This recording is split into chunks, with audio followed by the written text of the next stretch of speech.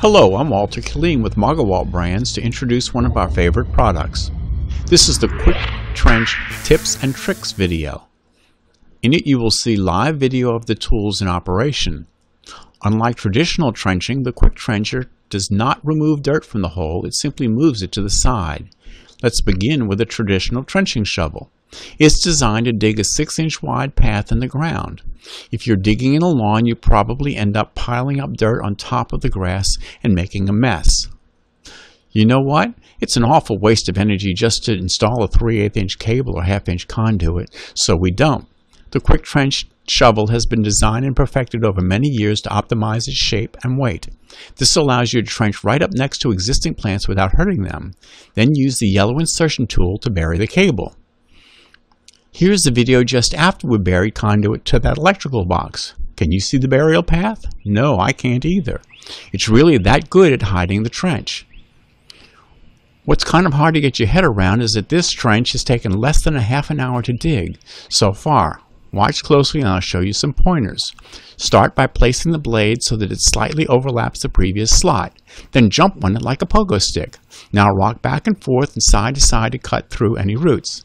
Finally pull back and forth to create an hourglass shape that is the trench slot. Then repeat.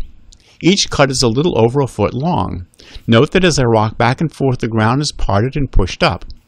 The rocking has created a trench that is wider at the top and bottom than it is in the middle thus the hourglass-shaped trench. Oops, it looks like I've hit something. This root is over an inch thick.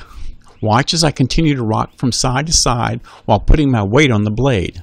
Now back and forth as I cut through the rest of the way. Because of the way the blade is sharpened, I have the option of turning the blade around to remove a second slice out of the root without increasing the size of the trench. Now let's bury some cable. Because of its carefully engineered tip, the insertion tool would make a lousy shovel. On the other hand, it's just the thing for pressing the cable past the narrow slot at the mid-depth down to the bottom of the trench. Notice how I rock the tool from side to side and press a little bit more each time. Now let's get really serious with the burial tool. Let's bury some half-inch electrical conduit. Again, because of the shape of the inserter, I can really put my weight into burying the conduit. I don't have to worry about pressing too hard because the tip shape has been perfected over many years to distribute the load on the cable or conduit. It's designed to roll the conduit past the narrow middle of the trench. Yes, you really can jump on the tool to push the conduit down. I would never try that with a regular shovel or the quick trench tool for fear of damaging the conduit. Okay, now watch closely as I close the top of the trench. I use the blunt curved end to press the top of the tr trench closed. Start by tapping about an inch and a half or two inches on either side of the slot.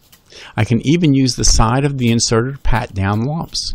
First, I tap one side and the other to close the trench. I can even use the curve across the top of the slot to help hide it. Now you see it, and now you don't.